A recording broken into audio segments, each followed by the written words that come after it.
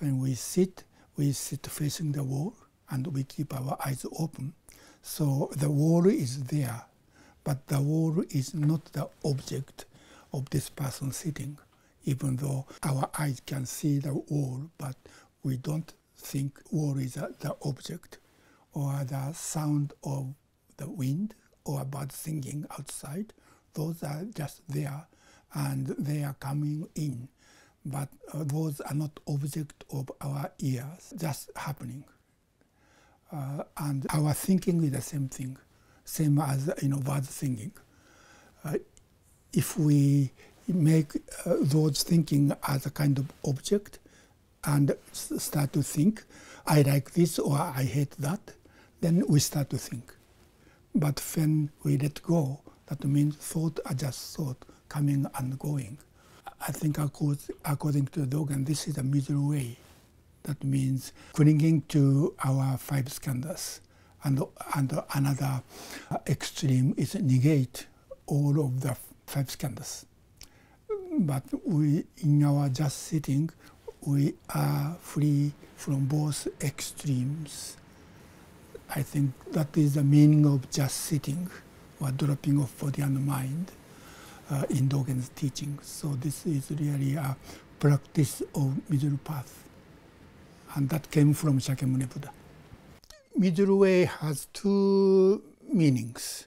One is a practical and another is a philosophical meaning. Mm -hmm. What he said in the uh, first teaching at the Deer Park to those five monks is the middle way between self-indulgence and self-mortification.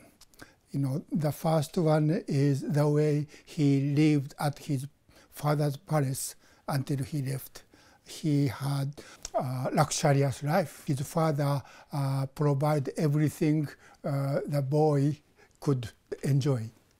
But somehow he found that was not a meaningful life and he, uh, full of suffering in that way of life.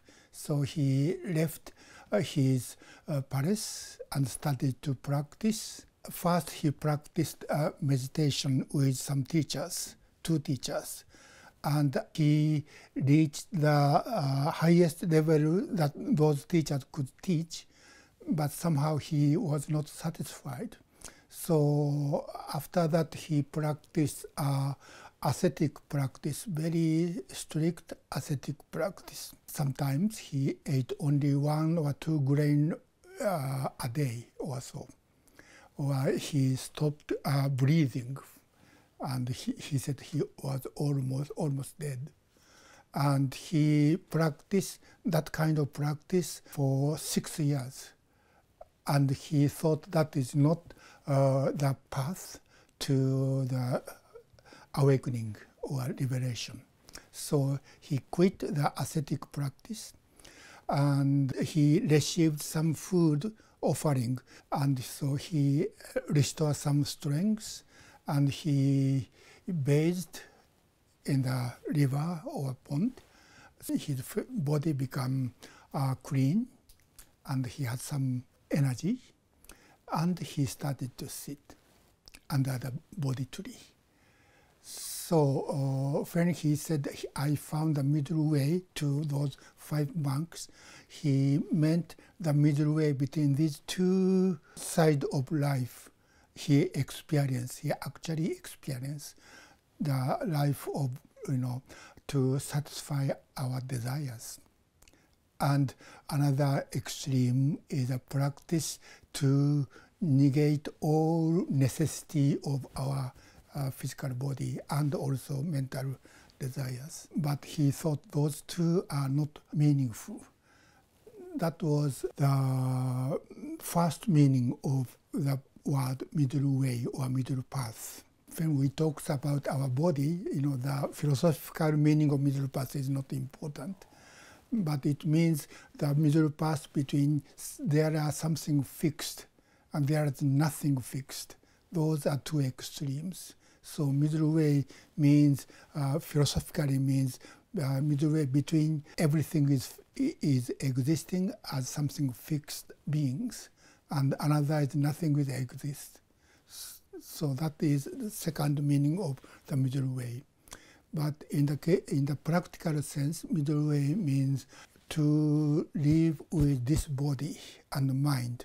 We need uh, something to avoid, which uh, makes our life unhealthy.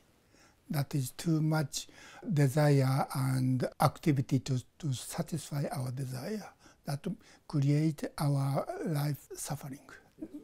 It become unhealthy. But to negate all of those desires or necessity of our body and our mind, then it's not healthy again. We negate the life. In a concrete meaning sense, middle way what Buddha taught is the Eightfold Noble Path. That is a healthy way of life.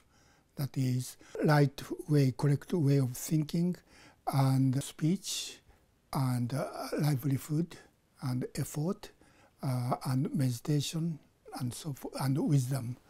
Those are to nurture those eight uh, areas of life is the middle way as the most healthy way of life to avoid two extremes. That is what uh, middle way means, as a way we live with our human body and also mind. There is only the wall. I neither negate nor affirm anything. I drop off body and mind. I live on the ground of reality. I stop worrying. I settle more deeply into immeasurable reality. I keep this same posture through all mental conditions without being pulled this way or that. There is no good or bad Zen. Zen is always Zen. I maintain Zen posture through all conditions. There is only the wall. I neither negate nor affirm anything. I drop off body and mind. I live on the ground of reality. I stop worrying.